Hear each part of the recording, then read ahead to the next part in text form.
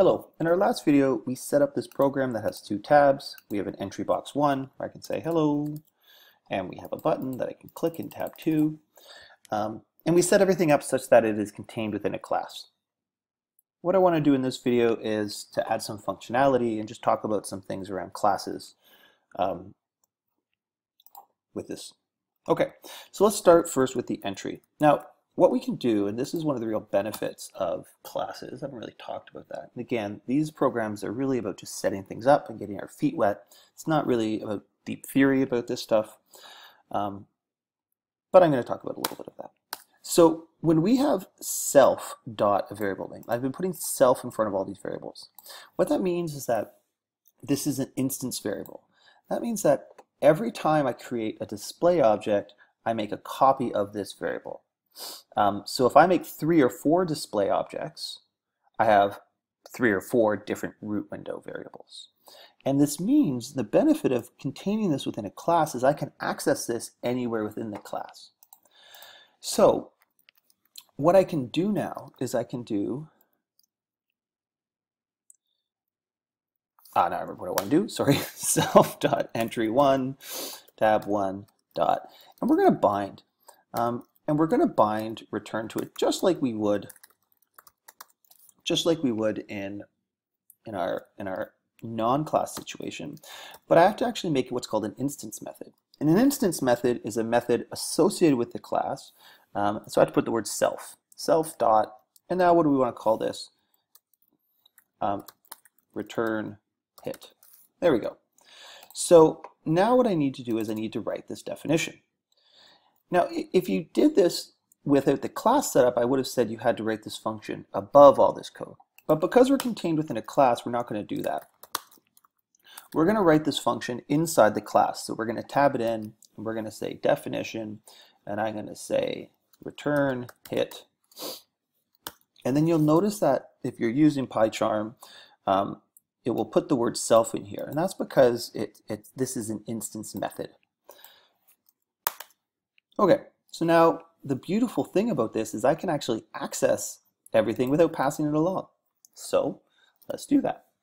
So I'm going to do, I'm going to come up here and I'm going to make a couple. These are instance variables for management. So I'm going to make a variable called value and I'm going to set it to empty, an empty string right now. So what I do down here is I could do self dot value equals equals self dot entry one tab one dot get. And that's going to get the information, and then I could do something like print self dot value. And now when I run this, what I should happen is when I say, let's just adjust this a little bit so we can see, watch right there. Let's run this again. When I write in hello and I press enter, Lovely, I get a nice error. Why is that error? Because this, I have to pass it, I have to pass it, well, I could do this with a wildcard args. So if I run this again, there it is. It prints out the word. Perfect. So again, the error I had was because I forgot I had to put the wildcard piece there just to say, listen, if anything comes along with this, you can manage it, but you can actually be a little more specific by writing the word event there or any other word because this, this, when you connect this function, it assumes that you're going to pass some event information. So if I run this now, it should still run. Hello, still runs.